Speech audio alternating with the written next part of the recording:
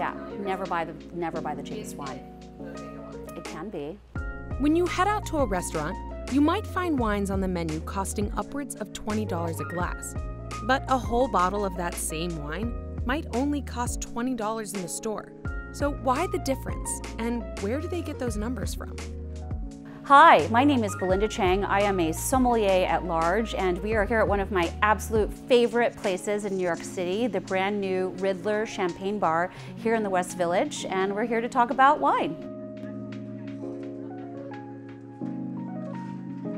So how does a wine get its price in the first place? So wines, of course, are made from grapes. Grapes are grown in beautiful, idyllic places. So a big part of the price of a glass of wine or a bottle of wine is the real estate cost, just like our homes and our apartments. Is it a Napa wine? That's some pretty pricey real estate. Or is it a wine from a very small village, you know, maybe in South America in Chile? Those are the wines that you'll find probably on the bottom shelf of the bodega or your grocery store or in the wine shop.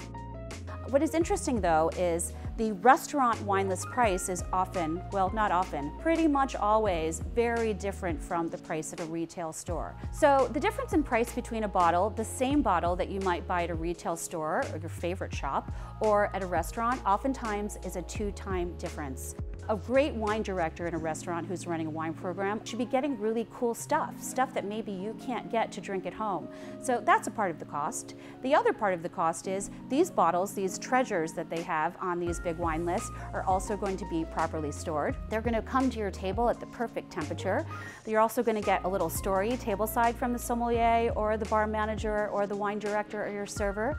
You're going to have beautiful glassware that you don't have to polish after the event when you're at home, and all the accoutrement and fun that can come with a really complete wine drinking experience. And now for a taste test. We tried three different Merlots from three different price points to see if we could actually taste a difference in the prices. Up first, the under $10 wine, which we bought for $5 at a pharmacy. So this is the Chateau Diana, which you can find at a very pleasant price, under $10 pretty much across the country. And this is something that was made kind of in a more industrial way. So there weren't little cute old ladies hand harvesting the grapes. There were machines shaking the vines to try to get all the grapes into the vat. But it's gonna make a wine that is technically correct and without any flaws.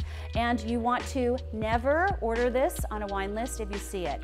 People are always looking for great value on a wine list. And the little secret that I wanna tell tell you is that the lowest price level on a wine list is where you find the worst value because it's generally marked up the highest. Yeah, never buy the never buy the cheapest wine. It can be. yeah. Oh my gosh. It can be. You never know.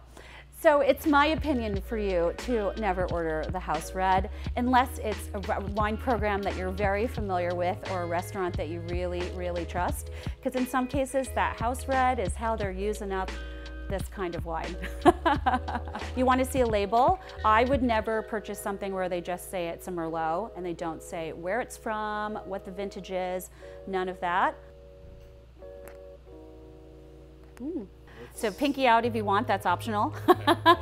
and just get a little oxygen into the wine and then when you're ready, put your nose in.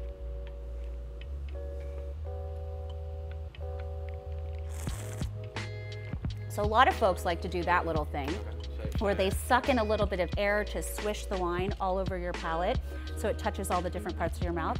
Some people like to gurgle. You could do that too. At a wine tasting, no one would make fun of you.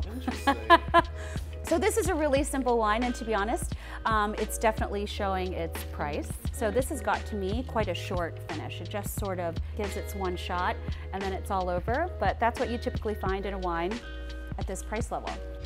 Next up, the $20 bottle of local wine.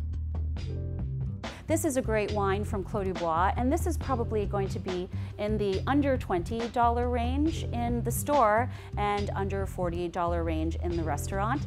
It is true that different wines will have different appearances and different aromas and different levels of complexity.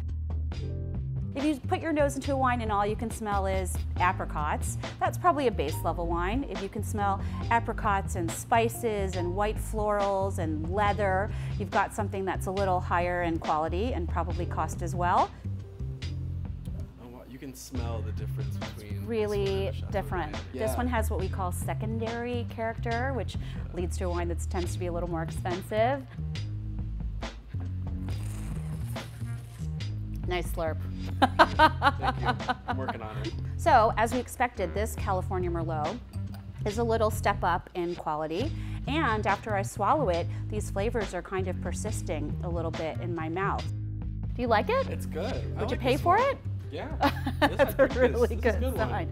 This is delicious. So let's look at the appearance of these two wines because they're completely different. So if you look at the first wine on the right, it has a watery meniscus. And then if we look at wine number two, there's a lot more color variation.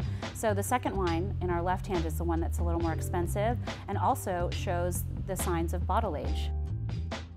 And now the luxury $250 bottle of wine. So we also have something super luxury on the bar counter today. So this is Chateau Ducru. It's a 1986. When you talk to someone in Bordeaux or in Champagne or some of these other legendary growing regions, they oftentimes tell you things like, our family's been in the wine business since 1600. So, so you'd find this in the store. I found it here in New York for $250. You could find it at a restaurant anywhere from 400, 500 and above, depending on what their philosophy is on marking up their bottles. You could also find this on a wine list for really great value. So we definitely see the maturity in the color and I can already smell it even though my nose is not in the glass. Giving it a little swirl, adding a little air. It's been stuck in that bottle since 1986. Oh,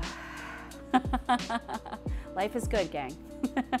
this is the experience you always want.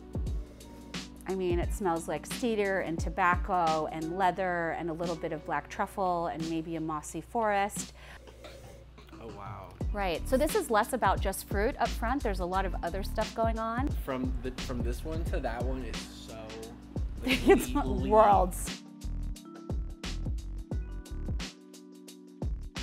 A lot of people think that that's kind of bogus, that there is no difference between inexpensive and expensive wines, but I think we did a great demonstration. You know, with wines, it's really a lot of it is about the complexity and also the age-worthiness of the wine.